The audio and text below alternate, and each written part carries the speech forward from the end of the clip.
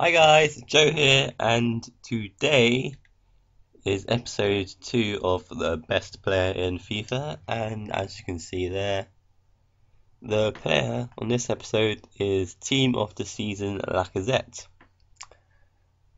who is probably the best player I've ever used in FIFA. He's very similar to Ronaldo, as you can see with his pretty similar face to Ronaldo in 97 and shooting and dribbling is also similar with 96 shooting and 95 dribbling with 90 physical, which is I think better than Ronaldo, just slightly, and with 85 passing, which is very good as well.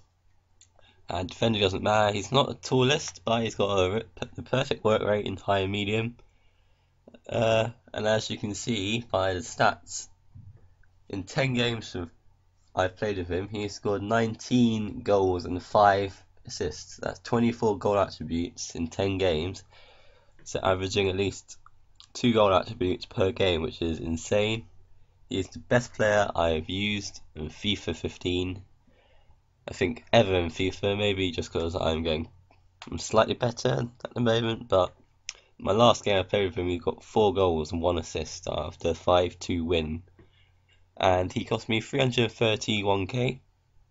So he's he's not that expensive, but he's certainly not cheap. But if you've got the money, I'd definitely recommend he is a very, very good player. So this is the team I built around him. Not too, not expensive really at all. With one of my favourite players in the game, Lucas. So really nice cards. Lavezzi, I've no, I haven't used him in this FIFA yet, but he's actually really good. Even though he's only got one assist in ten games for me, he's done, he's contributed a lot in attacks. Helped out. Pogba Cam, obviously a very good player. Um, team of the season Tulan, I've already used him, and he is a really, really good player. Same form with Tweedy, I love his high, high work rates. And defense is second in from Aurier, who is a really, really good right back, one of the best right backs I think in the game.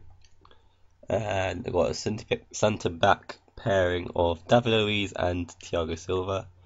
I've never used their normal cards before, and they're quite good. Not best, but they're really good still. And same for Bed Bedimo.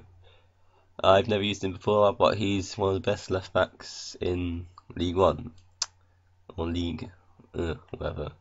And Inform Ruffier, who is a really, really good keeper, and I just bought him for 40k, and that was ages ago, so it's probably around 20k now.